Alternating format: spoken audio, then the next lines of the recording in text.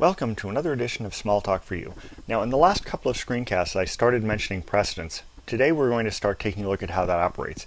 Notice this 2 plus 3 squared. Now, I mentioned that everything operates left right, but it goes unary, binary, keyword. So the first thing to execute is going to be 3 squared, giving us 9, and then you add 2 to get 11. So let's try that out. Do a print it, and sure enough. So 2 raised to 3 plus 2. You should get 3 plus 2 first, then 2 raised to the fifth. So let's see how that works print it. And sure enough, you get what I expected. So notice, binary first, keyword after that.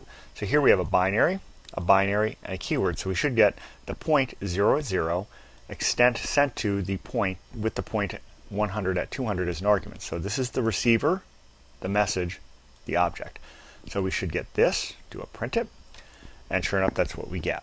So you notice the way this operates. Unaries come first, binaries become second, keywords are executed last, and if you have similar precedence, meaning two unaries, two binaries, two keywords, whatever, it goes left to right. So here we have th negative 3, absolute, negated, reciprocal. We'll just go straight left to right. Negative 3, we get AVS sent to it, followed by negated sent to that, followed by reciprocal sent to that. So we have it in left-right order. Let's try that out, do a print it, and sure enough, that's what we get.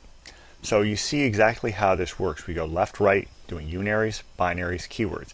Without parentheses, keep in mind keywords are going to come across as one big long message. So if you have multiple keywords, you absolutely need parentheses. Let's go on to the next and see how some of this stuff works. Use parentheses to change the order of evaluation. As I mentioned, 2 plus 3 squared. You want the squared sent to the result of this, so you need to do that. So 5 squared should come out of this. That's what we get. Again, 2 raised to 3, we want this keyword to happen before this binary, use parentheses. Again, we want this keyword to happen before this unary, so we have parentheses, so you see the way that works. So we'll send that, and that's what we end up with. So if you want to change the default order of precedence, you absolutely need to use parentheses to do it.